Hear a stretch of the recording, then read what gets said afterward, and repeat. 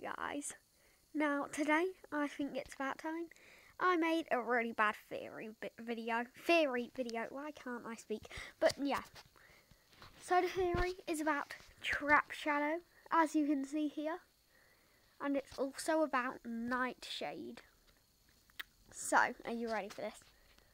Trap Shadow is Nightshade. Oh well, Nightshade is Trap Shadow. Dun, dun, dun. I know, right? Shocking. But this is just a very bad theory.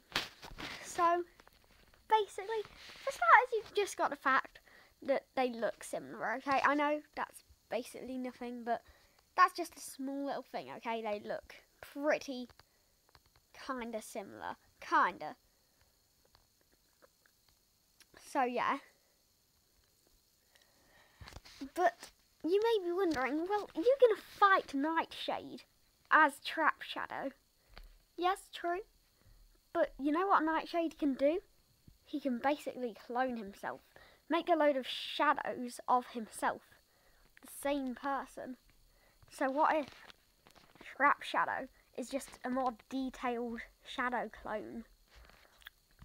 So, yeah.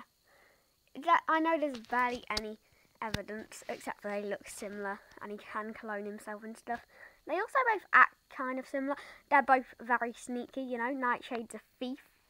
This guy is um he he he's he is sort of a thief because he um he he's got the sneak ability, as you can see, the sneak ability. So at the like little houses, little security. I'm not no, Uh, no one probably knows what I'm talking about. But in SWAP Force, there's these little security areas where you do sneak around and steal stuff with either Stink Bomb or Trap Shadow. So they both steal. They look pretty similar. They act pretty similar. And Nightshade can create shadow clones. So for all we know, he's just a detailed one. And I meant we. But anyway, so yeah,